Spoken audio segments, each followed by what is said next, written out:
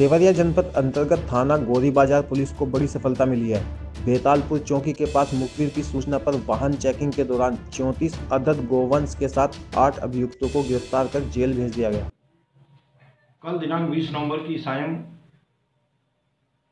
थाना गौरी बाज़ार को यह सूचना प्राप्त हुई कि गोरखपुर की ओर से कुछ गाड़ियाँ, बंद गाड़ियाँ आ रही हैं, जिसमें गोवंश का ट्रांसपोर्टेशन हो रहा है। इस पर थानाध्यक्ष ने चौकी बैतालपुर के सामने बैरियर लगाकर उनकी चेकिंग की। तो ये पाया कि उसमें चौंतीस गोवंश लदे हैं और इनका कोई विधिक ट्रांसपोर्टेशन का कागज़ नहीं है। अतः ये मानते हुए और ये जानकारी कर पूछने के बाद ये पता चला कि ये इस जनपद से बिहार राज्य की तरफ़ ले जाई जा रही थी।